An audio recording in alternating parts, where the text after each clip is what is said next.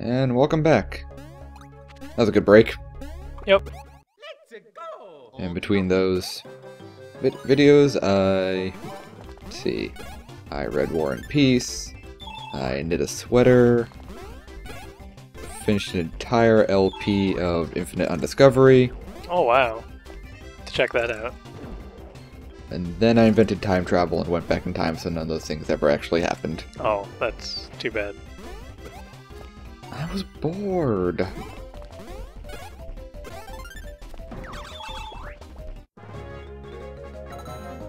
This is our last new enemy for the area, the air cannon. We are officially out of decent names. hmm But before I discuss them, first let me say, screw this part. No, it's fine. Stylus controls.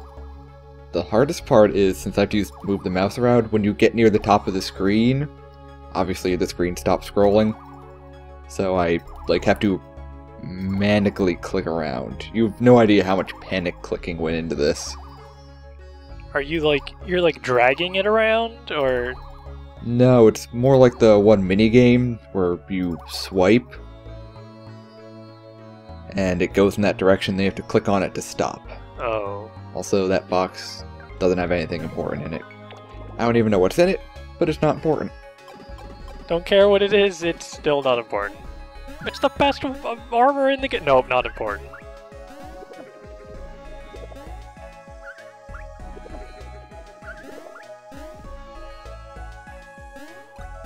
That does go illustrate what I was talking about with Luigi getting scraped off by his forehead. Yep. The perils of being too tall.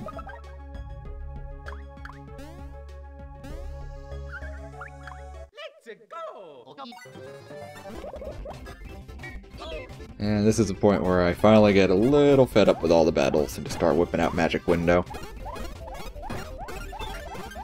I've discovered a minor issue with Snack Basket in that, since it is a ground pound attack, you can't hit enemies that are floating. Anything that you would miss with the hammer, you will miss with that. Yeah. You think you could just throw Luigi a little farther and you could just land on top of them? That'd be- oh crap. Help. it's nice knowing you. No, well, he's just Vader force choking you, I guess. That it was, uh, more of his farts. He was making some more stonks for us to fight. Yup, and they just smelled so bad. Oh no! Now it has shell power. Shouldn't Bowser be like losing all of these things as the Dark Star takes them? Well, I mean, it's not like Bowser only has one copy of his DNA inside his body, I hope. I don't know. He keeps the other copy inside that safe. Let's go.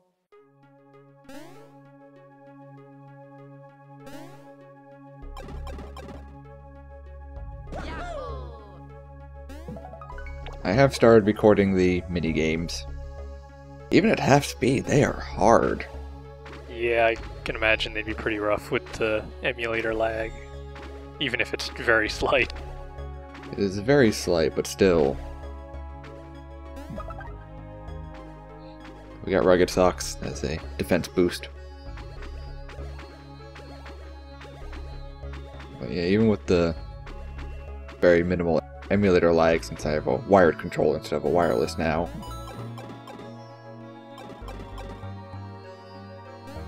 Magic Window especially, because if you're playing at full speed, it is challenging to get.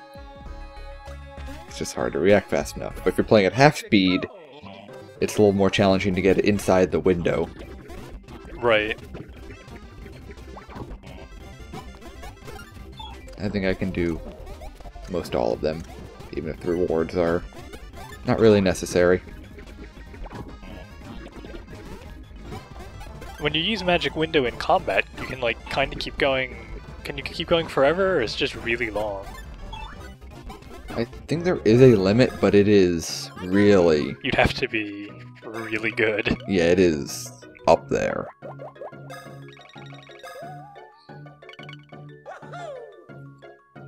Otherwise, yeah, you'll more than likely kill whatever you're attacking first. Right. Unless you're fighting like a boss, Right. which is usually what you want to use it on.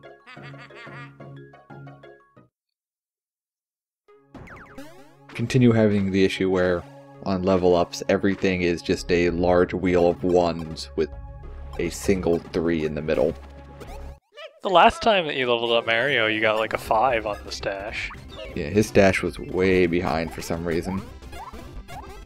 Doesn't take as good care of it as Luigi, I guess. Well, Mario's out saving the world. Doesn't have time for personal hygiene. Luigi's just lazing about at home, so he just carefully brushes it and washes it every day. Trims it and waxes it. It's a fine sheen. And here I'm just showing that, yep, I got all the beans, so we're only eight in this area.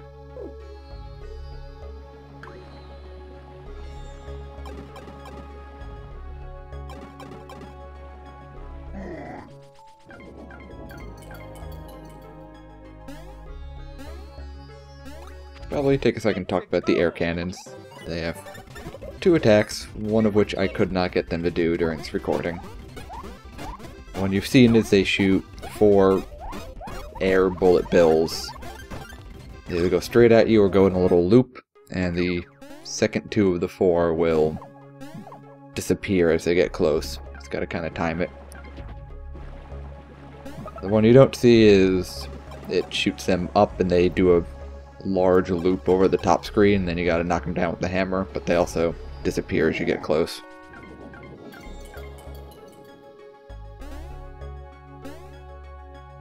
Are they disappearing because they're just made of air, I guess?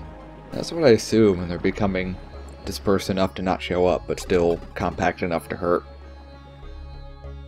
So you have like wind cutter cannons inside Bowser being manned by Dark Star beans of some sort. Who you don't actually kill because they just run away as soon as you destroy the cannon.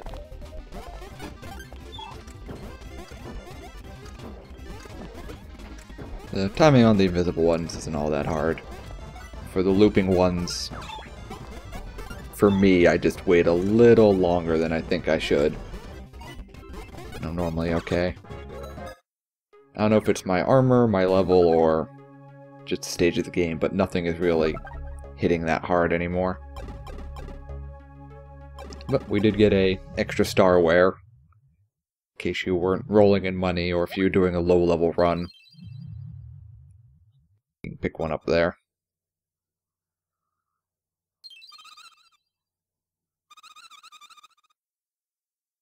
Finally caught up with the Dark Star, and we got, got a nice little warning from Starlo.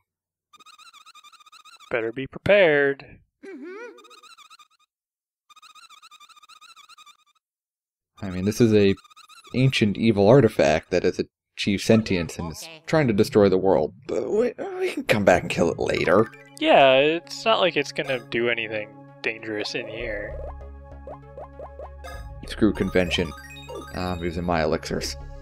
Do it, use everything. I am mostly using them because you do not get to take items into the bonus fights with you. You were just given a certain number of each item. So there's really no point in holding on to them. Oh no, it's split up so it could eat all the DNA faster.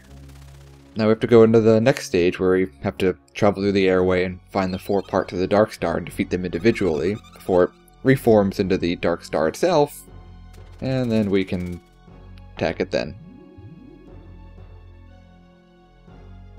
Or it'll absorb all of Bowser's powers. It's just a giant floating spirit Bowser Wait, this doesn't make any sense. with Phoenix Wright hair, apparently. Awesome hair.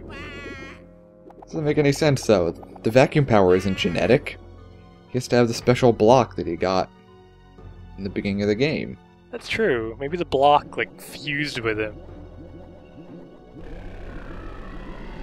Maybe Bowser always had the potential and the block just let him do it. So it's like Space Jam, but for sucking. Yes. So now we have to fight the Dark Star. Alright, let's start doing some da- Oh. You cannot damage the boss directly. Not yet. His first attack is similar to the air cannons. It's gotta time the hits, move fairly slow. Later on, if there was a later on, there's not a later on, he would split into seven pieces instead of five. And occasionally two will come at the same time in the same row. And if you hit the front one, it knocks this back one back as well. So he absorbed all that DNA, turned into a Bowser clone, and then when you fight him, he's just like, eh, not worth it. His powers suck. I can make shadow copies of my opponents and damage them through the shadows. Why would I want to breathe fire and punch things?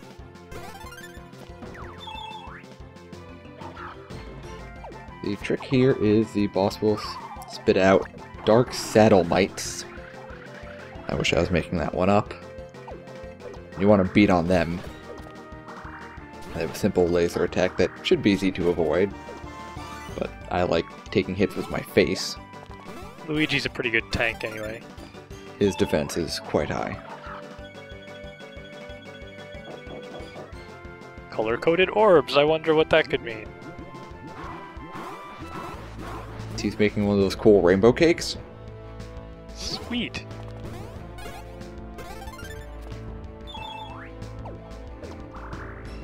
There's actually one attack that the Dark Star doesn't show off, which is a giant laser beam.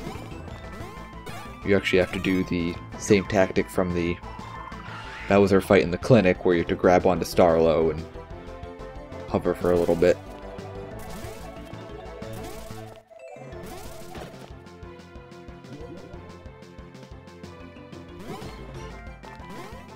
Oh, there's nothing to hit, and just jump on him. The trick is you gotta look at the top screen and figure out which side the Satellmite is going to and hammer it back. If you hammer the bomb, you take significant damage. You should be able to smack the bomb into him and blow him up. Well, apparently, smashing explosives has unintended consequences. Oh, But he's vulnerable now, so lay into him with your favorite attacks.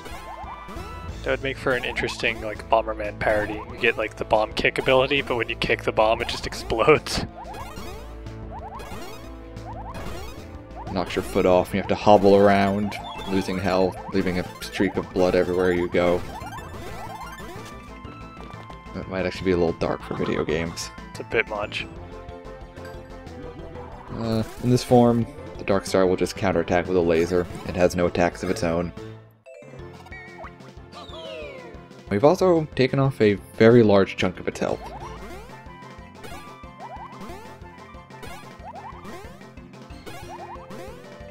Mario, quit hogging the window. Nope, my window. For all the prep work Starlo encourages you to do, this is a fairly easy fight once you know the gimmick. Could be underleveled. That'd be about the only thing. It could be. I don't feel over leveled.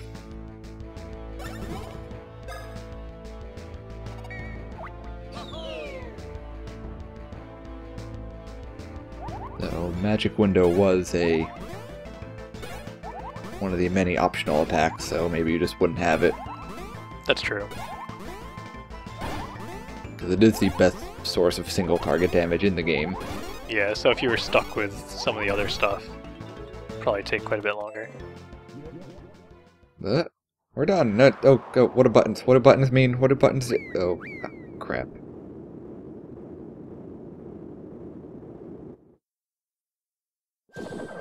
Ah, just does some damage. I actually wanted to see what would happen. I was looking forward to, you know, well, not looking forward to, but expecting to have to re-record this section.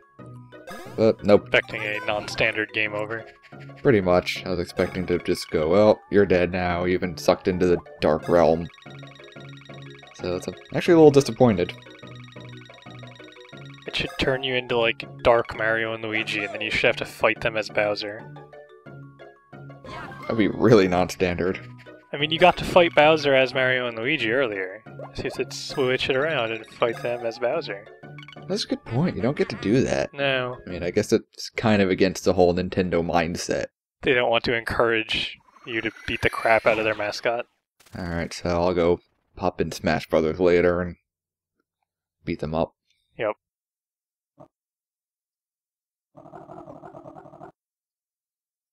On the next episode, we will deal with Bowser's crippling halitosis. Uh, It's just breathing out Dark Star. We did get the Dark Star's rare drop, though, which is the D Star armor. It gives you an 80 point boost in power.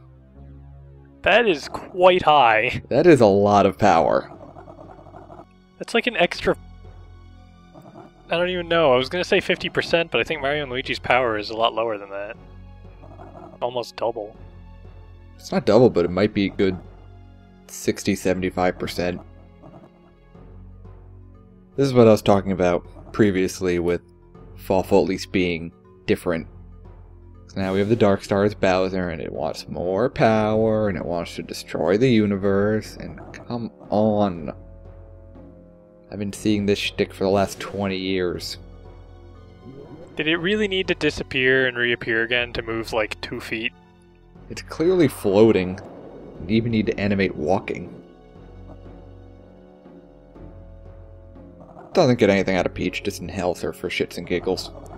It apparently thought that she was gonna give him a lot of dark power, and then was just like, eh, guess not. Yes, the stereotypical pure-hearted individual of this game series. Maybe this will give me dark power. The Dark Star is not the smartest thing. Just inhale Midbus. Or, I don't know, the platform on the left. It must have copied Bowser's intelligence as well. Or lack thereof. Exactly. It can punch electricity out, which is a little frightening. Probably could have also just not gone through the electricity because it's apparently like immaterial. And can teleport. Still feels the need to punch all this rubble out of the way. Well, it opens up the way forward. Thank you for watching.